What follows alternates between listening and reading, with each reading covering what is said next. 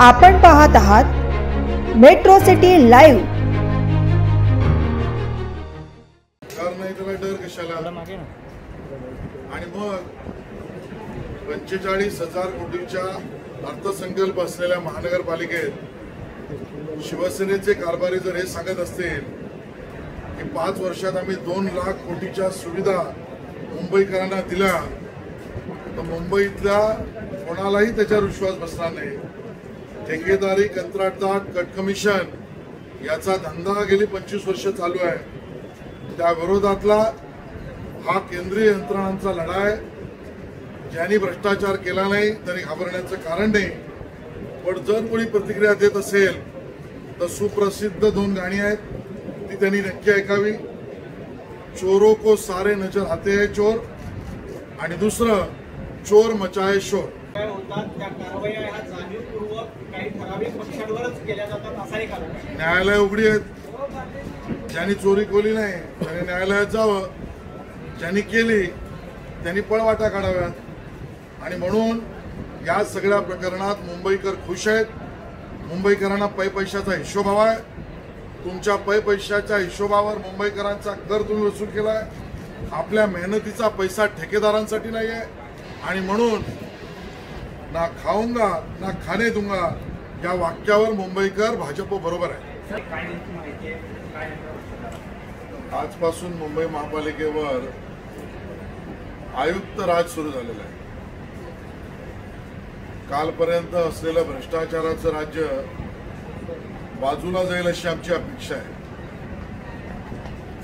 जवळजवळ पंचेचाळीस सेहेचाळीस हजार कोटीचं वार्षिक बजेट आणि पाच वर्षाचं ॲव्हरेज जरी आपण पकडलं सरासरी जरी पकडलं तरी दोन लाख कोटी रुपये दोन लाख कोटी रुपये एक कोटी चाळीस लाख मुंबईकरांवर खर्च केले असं शिवसेनेचे कारभारी सांगतायत एक कोटी चाळीस लाख मुंबईकरांना दोन लाख कोटी रुपये खर्च करून त्यांना मुंबईकरांना काही मिळालं की नाही प्रश्न आहे. पण स्थायी समिती अध्यक्षांच्या बेनामी संपत्त्या मात्र वाढल्या आहेत. त्यांच्या बेनामी कंपन्या मात्र वाढल्या आहेत. जाता जाता सुद्धा दल्ला मारायचं काम काही यांनी सोडलेलं नाही. आणि म्हणून शेवटच्या स्थायी समितीच्या बैठकीत सुद्धा तीनशे सत्तर प्रस्ताव सहा हजार कोटीच्या वर हे त्या ठिकाणी मंजूर करून घेतले कट कमिशनचा धंदा राजरोजपणे चालू आहे. मुंबई महापालिका आयुक्तांना आमचं निवेदन आहे. आपल्याकडनं अपेक्षा आहे की प्रशासक असताना आपण कायद्याला अभिप्रेत अशा पद्धतीनेच कारभार कराल.